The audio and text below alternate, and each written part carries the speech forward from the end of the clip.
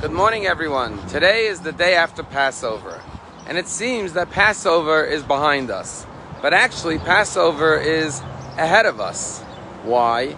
Because there's only one holiday on the Jewish calendar that there's a second celebration of the same holiday, and that is Passover.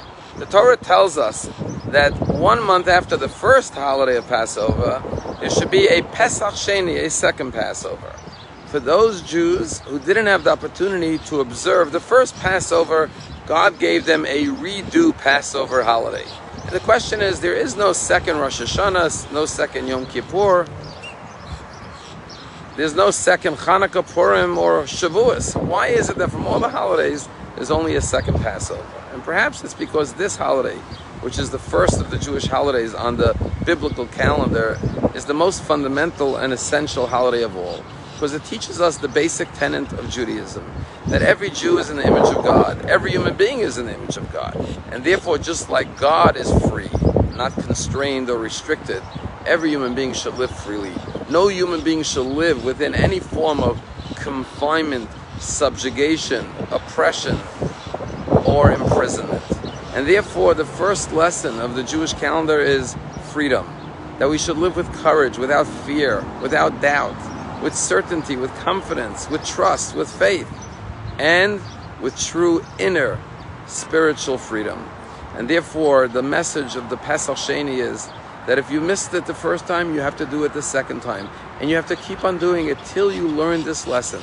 Because if there's one holiday that we have to live with every day of the year, not just for the days of the original holiday of Passover, it's the holiday of Passover, of Pesach, which teaches us that God wants us to all be free human beings.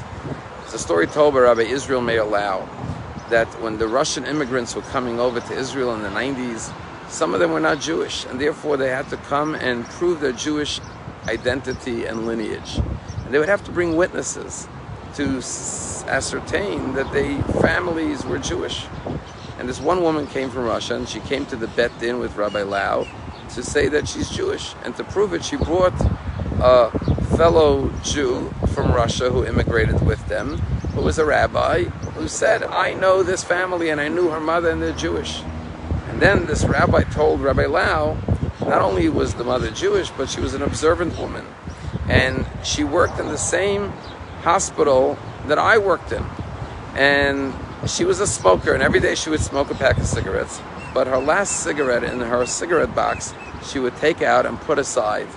And she would put it away in a special box. And every day she would put away the last cigarette she had. And at the end of the year, she would come to me with the box of 365 cigarettes that she collected each and every day.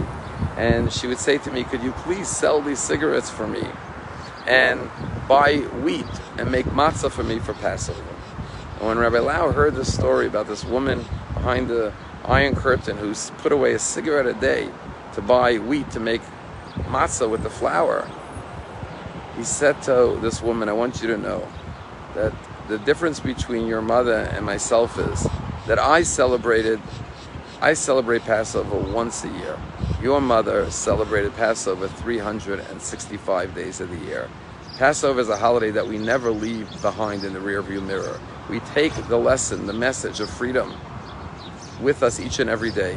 That whatever it is in life that is confining, constraining, constricting us, and limiting us from accessing our full potential must be unbound, released, and so we could emerge triumphant and truly free in body, mind, and spirit. Have a wonderful day.